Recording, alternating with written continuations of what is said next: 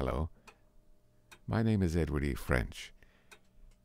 Sit back, relax, turn out the lights, why don't you, and I'll tell you the story of H.P. Lovecraft's Herbert West, Reanimator.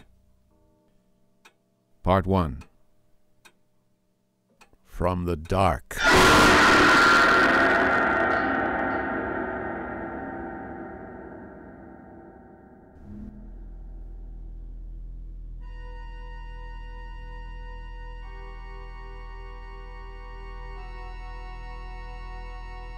Of Herbert West, who was my friend in college and in later life, I can speak only with extreme terror.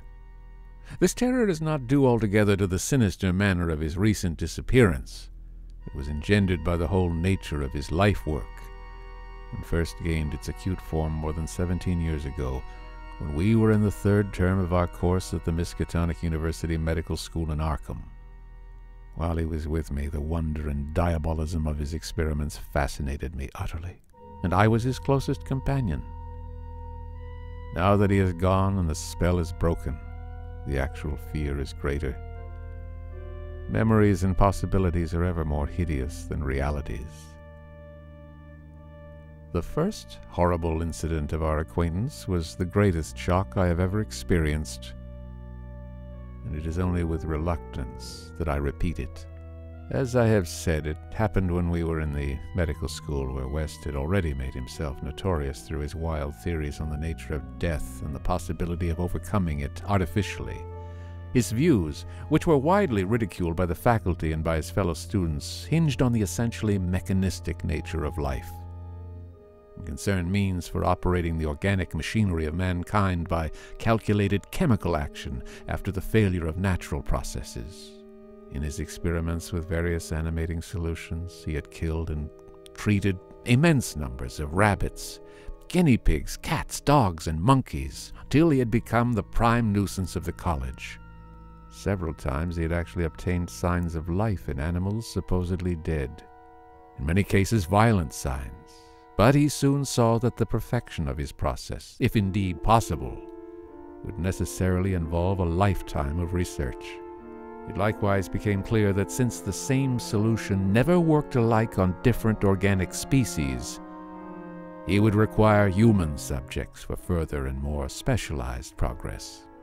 It was here that he first came into conflict with the college authorities and was debarred from further experiments by no less a dignitary than the dean of the medical school himself, the learned and benevolent Dr. Allan Halsey, whose work in behalf of the stricken is recalled by every old resident of Arkham.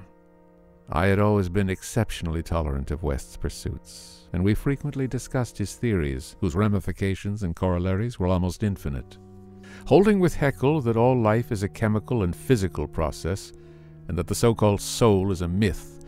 My friend believed that artificial reanimation of the dead can depend only on the condition of the tissues, and that unless actual decomposition is set in, a corpse fully equipped with organs may, with suitable measures, be set going again in the peculiar fashion known as life.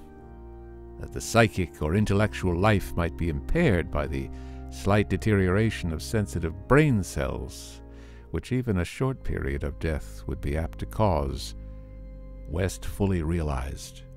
It had at first been his hope to find a reagent which would restore vitality before the actual advent of death, and only repeated failures on animals had shown him that the natural and artificial life motions were incompatible.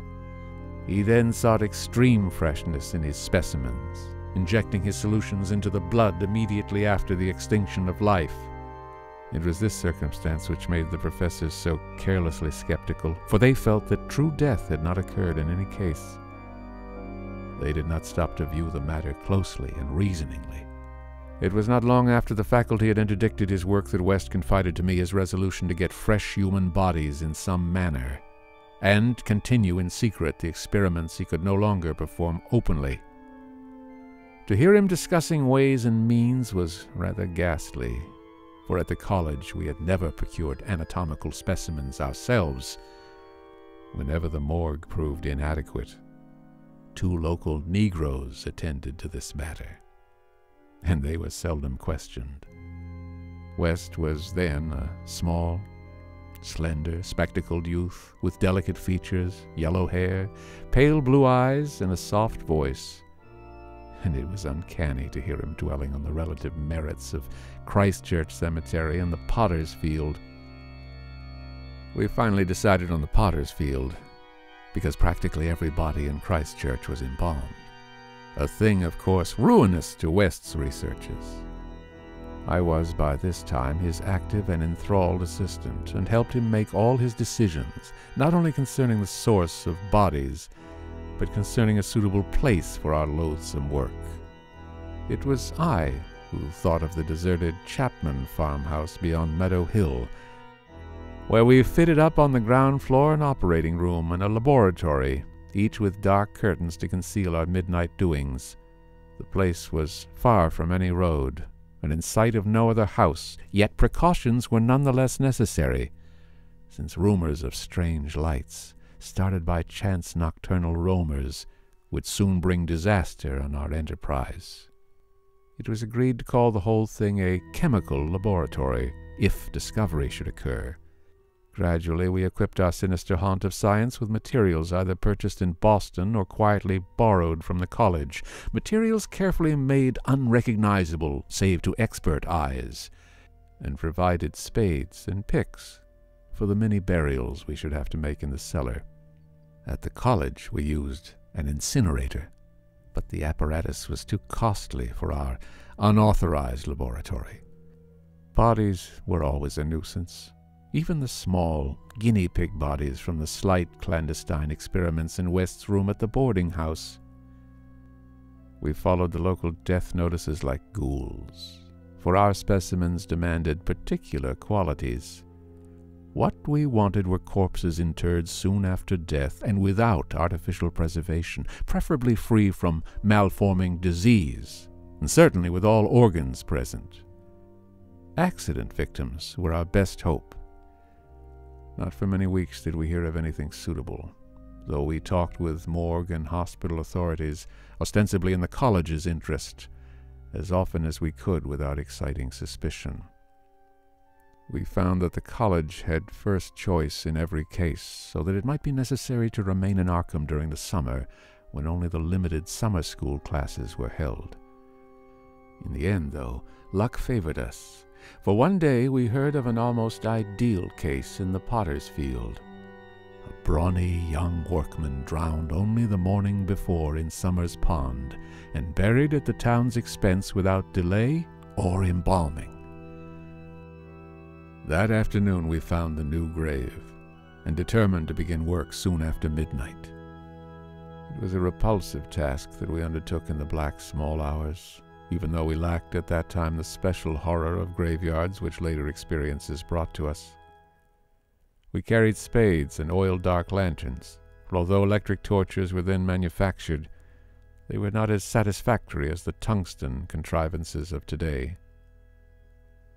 The process of unearthing was slow and sordid. It might have been gruesomely poetical if we had been artists instead of scientists and we were glad when our spades struck wood. When the pine box was fully uncovered, West scrambled down and removed the lid, dragging out and propping up the contents. I reached down and hauled the contents out of the grave, and then both toiled hard to restore the spot to its former appearance. The affair made us rather nervous, especially the stiff form and vacant face of our first trophy, but we managed to remove all traces of our visit. When we had patted down the last shovelful of earth, we put the specimen in a canvas sack and set out for the old Chapman place beyond Meadow Hill.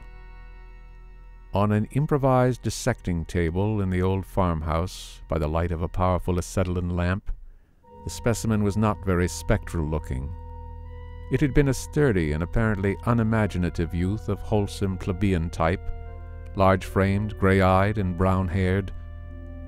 A sound animal without psychological subtleties, probably having vital processes of the simplest and healthiest sort. Now, with the eyes closed, it looked more asleep than dead, though the expert test of my friend soon left no doubt on that score. We had at last what West had always longed for. A real dead man of the ideal kind, ready for the solution as prepared according to the most careful calculations and theories for human use. The tension on our part became very great.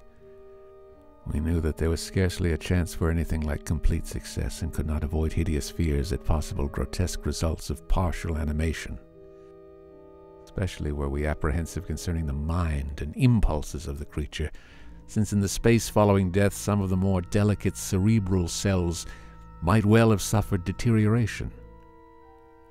I myself still held some curious notions about the traditional soul of man and felt in awe at the secrets that might be told by one returning from the dead. I wondered what sights this placid youth might have seen in inaccessible spheres, what he could relate if fully restored to life. But my wonder was not overwhelming, since for the most part I shared the materialism of my friend.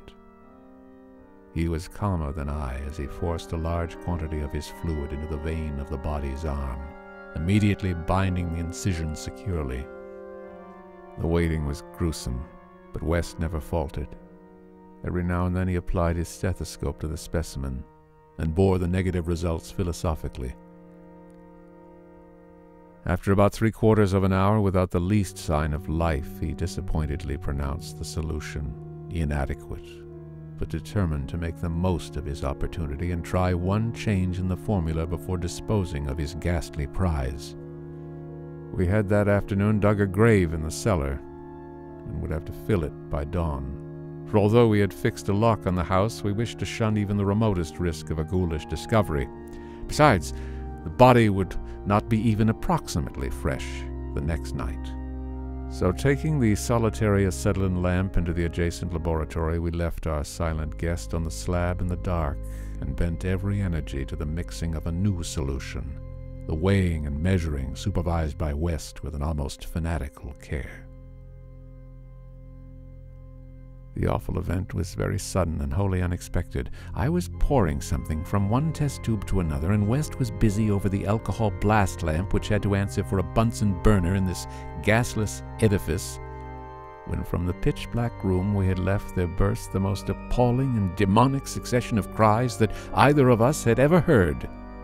Not more unutterable could have been the chaos of hellish sound if the pit itself had opened to release the agony of the damned for in one inconceivable cacophony was centered all the supernal terror and unnatural despair of animate nature. Human it could not have been. It is not in man to make such sounds. And without a thought of our late employment or its possible discovery, both West and I leaped to the nearest window like stricken animals, overturning tubes, lamp, and retorts, and vaulting madly into the starred abyss of the rural night. I think we screamed ourselves as we stumbled frantically toward the town, though as we reached the outskirts, we put on a semblance of restraint, just enough to seem like belated revelers staggering home from a debauch. We did not separate, but managed to get to West's room, where we whispered with the gas up until dawn. By then we had calmed ourselves a little with rational theories and plans for investigation, so that we could sleep through the day, classes being disregarded but that evening, two items in the paper, wholly unrelated, made it again impossible for us to sleep. The old deserted Chapman house had inexplicably burned to an amorphous heap of ashes. That we could understand because of the upset lamp. Also, an attempt had been made to disturb a new grave in the potter's field, as if by futile and spadeless clawing at the earth. That we could not understand, for we had patted down the mold very carefully. And for seventeen years after that, West would look frequently over his shoulder and complain of fancied footsteps behind him. Now he has disappeared.